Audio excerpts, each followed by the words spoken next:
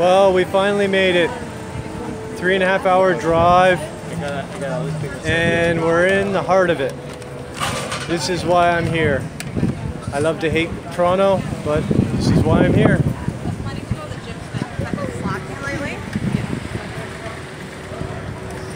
That's where I'm going, right there.